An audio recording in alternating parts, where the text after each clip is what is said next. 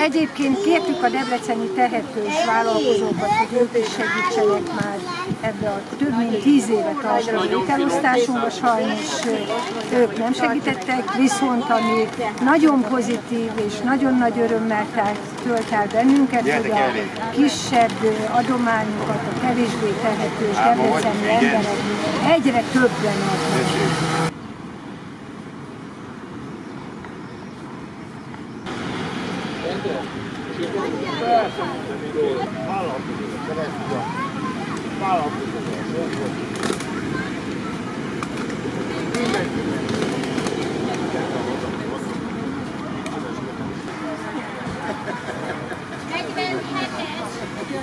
Fiatal párospár jött ide és mondott nekünk kívül mindent, amit hívottunk a gyerekek küldnek, mert annyit is sajnos nincs, hogy mindenkinek jusson belőle.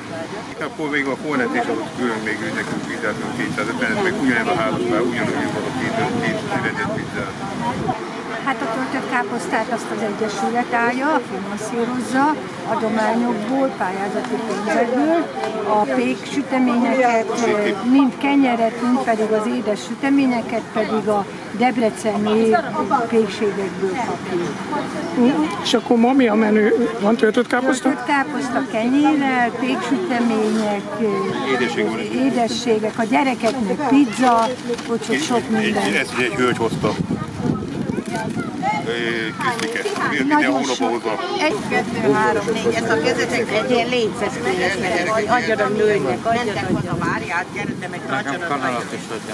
Kanál nincsen, mert az utcán nem lehet enni, nem lehet, nem lehet enni, mert a közterületesek meg csak le ne essen az hogy közéje.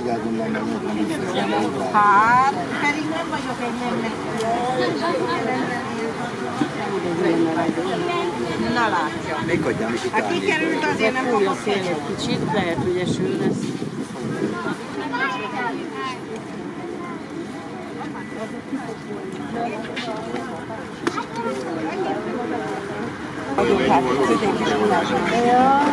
Mennyire te esetleg? Köszönöm szépen.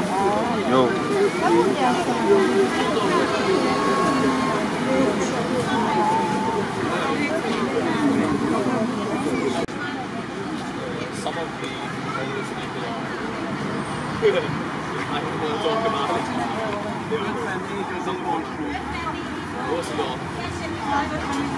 Ez 45 étellel, töltött káposztával készültünk, és hát sok-sok szatyor édességgel.